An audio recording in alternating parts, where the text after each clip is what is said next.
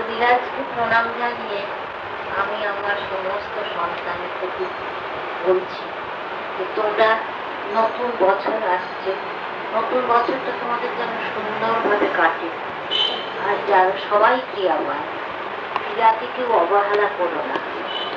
ক্রিয়া নিয়ে যেন তোমাদের নতুন বছরটা ক্রিয়া করে যেন সুন্দরভাবে কাটে। আমার অন্তরের আশীর্বাদ রইল। যে ক্রিয়াবান কখনো দুর্বল হয়ে না। একাত্ম চিত্তে যদি ক্রিয়া করতে থাকো স্বয়ং ভগবানই তোমাদের হাত ধরে ঠিক জায়গায় পৌঁছে দেবে। আমি তোমাদের এইটুকু বলতে পারি যে তোমরা ক্রিয়া করো।